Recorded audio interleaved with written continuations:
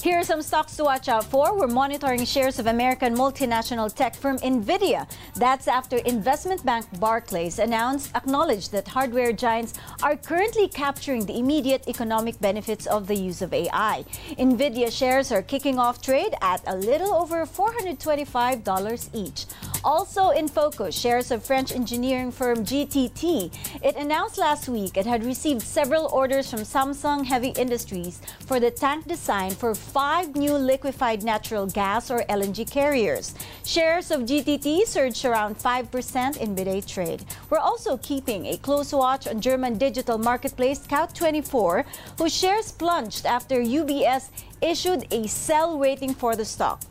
Shares of Scout24 are currently trading at 54.10 euros. And finally, we'll also be looking at shares of Total Energies. The French oil giant signed a $27 billion energy deal with Iraq aimed at boosting the country's capacity to produce energy with four oil, gas, and renewables projects. shares of Total Energies are trading nearly 1% higher at 51.57 euros apiece. We kick off the show with a look at how European markets are trading right now. Bourses in the region have made a U-turn as they move cautiously higher in midday trade after an open in the red. Investors in Europe reacting to China's consumer inflation rate, which was flat in June, while factory gate prices fell further, fueling deflation worries, but also adding speculation about a potential stimulus.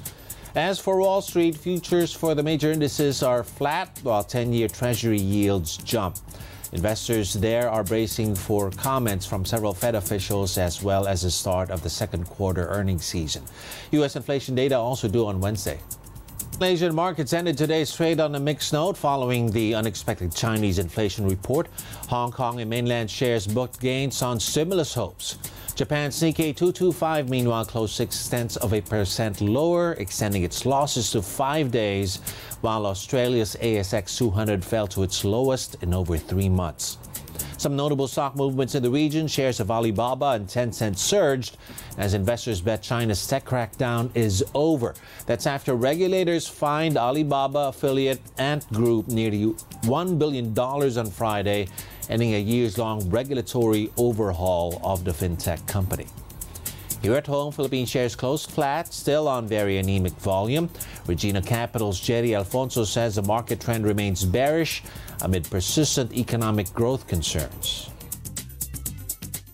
Market players are are still risk off, and they are probably uh, probably cutting their losses or moving on fixed income or or staying in cash. We could probably see some action or volatility with the upcoming earnings season and and hopefully this will drive the the markets volume heavily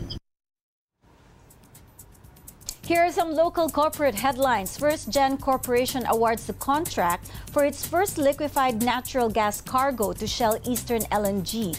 Shell Eastern LNG will supply FGen with cargo worth over 150,000 cubic meters between August and September for FGen's gas-fired plants in Batangas. FGen shares closed up a percent at 19 pesos and 82 centavos apiece.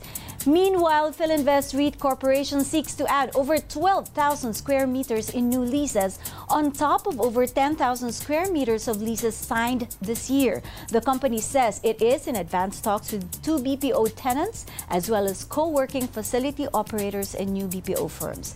The company shares jumped over 6% in today's trade.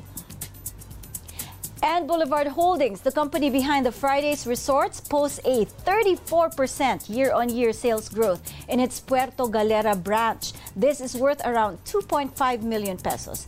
BHI shares close flat at around 7 centavos apiece.